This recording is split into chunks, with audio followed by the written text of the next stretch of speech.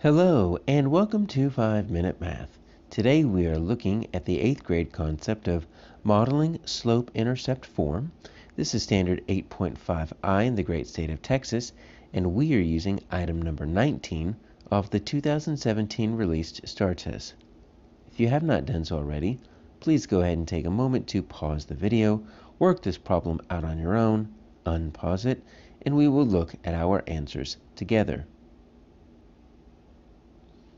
So we have a graph here, shows the relationship between uh, the weight uh, of pecans and how much it costs to buy those pecans, which makes sense, right? As your as your weight increases, then your cost is going to increase. So that makes sense.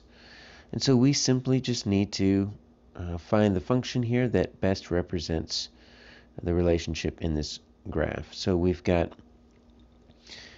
four different options here.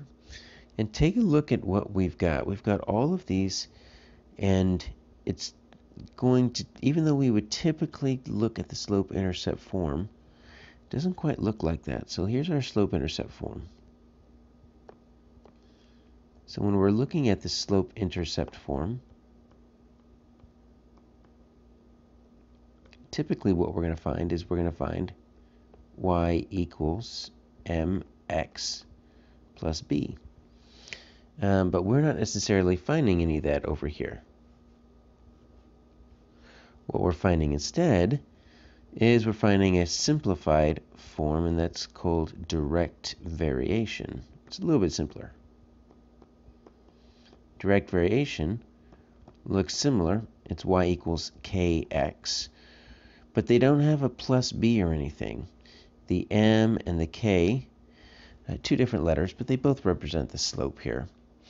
Um, and so it looks like we all have that. And here's the difference. So if x equals 0 on the slope-intercept form, if I put a 0 right here, well, that's going to cancel that out. So y is going to equal b, which means it's going to have a y-intercept, and it's going to not go through the origin.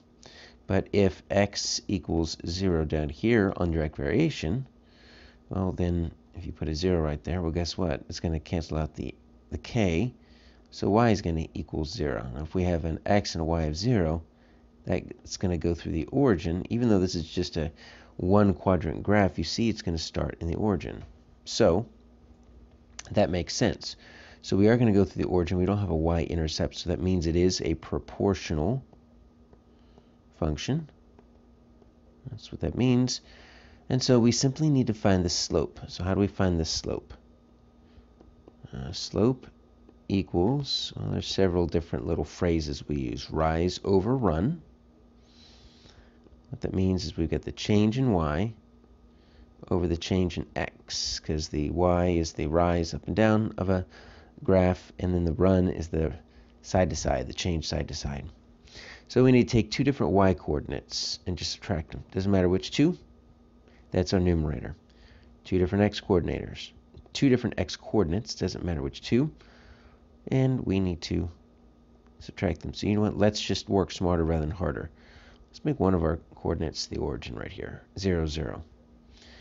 And then let's just make that one, that one right there, 210. Watch, if you do it like that, look how easy it is. So let's do our y coordinates first. 10 minus 0 over x coordinates 2 minus 0. Uh, that's just 10 over 2. That's just 5. So if you use the origin as one of the sets, all you have to do is take any of these right here.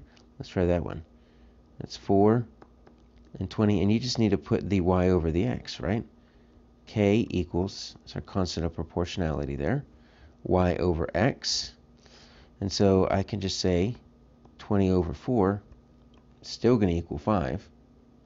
So since we're using direct variation, we have to find the k, that's that constant of proportionality, because if we're looking for slope, one of the sets of coordinates is always going to be 0, 0, so just put y over x. That's kind of the easy way to do it there. And so let's see what that looks like in here. So if I'm going to use this y equals kx, then y equals my k, my slope is 5. My answer here is A.